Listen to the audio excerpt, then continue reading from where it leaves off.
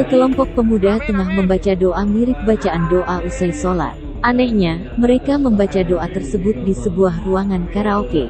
Dalam video terlihat pemuda itu memimpin pembacaan doa layaknya usai sholat. Terlihat di antara pemuda ini ada yang menggunakan peci hitam. Wanita yang berpakaian seksi juga berada di dalam ruangan karaoke itu. Belum diketahui siapa dan kapan kejadian itu terjadi.